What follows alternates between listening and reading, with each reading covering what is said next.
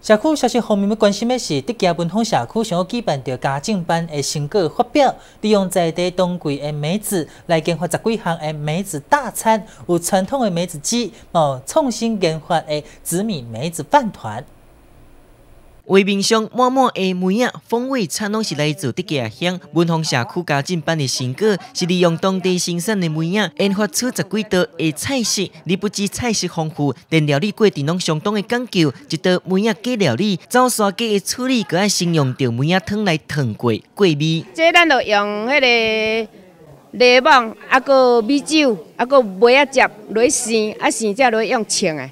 安尼起来食，含咱普通刀子你煮的都无共款。因为鸡咱这山的拢家己饲的嘛，家己饲的较熟，啊落控制蓝梅啊落控，控好口味就走出来，啊则蓝高丽菜、蓝花的安尼。嘿，因为阮文峰村吼大溪的风景足水，啊伊海拔嘛真悬，啊遮的梅啊足好食，足脆。现在当是梅啊盛产的季节，将梅啊腌成糯梅、脆梅，也是紫苏梅，不止会使做四烧啊，直接食，买使来入菜，增加着气味。梅啊炒饭、梅啊饭圆是适合热天来食，你烘肉、雪鱼也是排骨，加入梅啊是会使来减少油臭的感觉。好，然后把梅子入菜，然后让我们的菜里哈吃的不油不腻，而且它是一个呃可以酸碱呃平衡我们酸碱值的一个一个很养生的东西。好，那。